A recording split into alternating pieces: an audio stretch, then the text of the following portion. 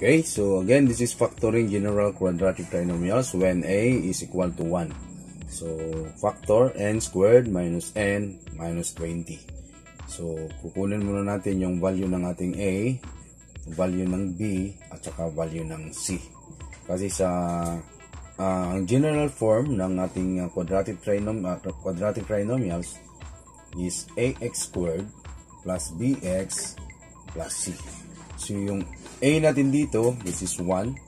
Okay? Tapos yung B is negative 1. Ang liit pala ng space. Sorry. Negative 1. Ayan, negative 1. And then yung C is equal to negative 20.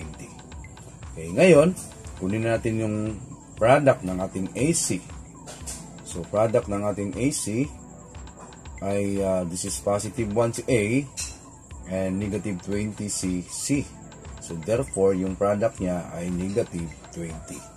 So, ang gagawin natin dito, since nakuha natin yung product na negative 20, hanap tayo ng mga factors of negative 20. Okay?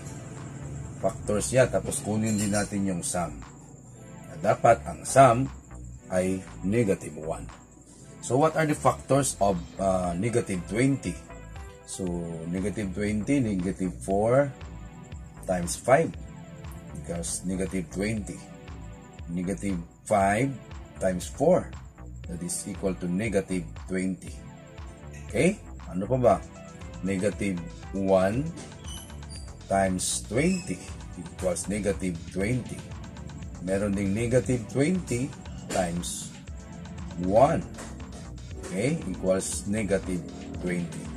Okay? Ngayon, since nakuha natin yung mga possible uh, factors of 20 or negative 20, kunin naman natin yung sum nila. Okay? So, yung sum natin dito, si negative 4 plus 5, that is equal to uh, 1, positive 1. Then, negative 5 plus 4, that is negative 1. Okay? Di ba? Nakuha na natin si B. So, negative, pwede mo na hindi ituloy ito ha. So, negative 1 plus 20, that is positive 19. At dito naman, si negative 20 plus 1, this is negative 19. So, ang factor natin na hinahanap natin kasi dapat yung product ay negative 20 at saka yung sum niya ay negative 1. Ito yung product, negative 20 at saka yung sum niya ay negative 1. So, ito. Ayan. Okay? So, yung factors natin, negative 5 and positive 4. Okay?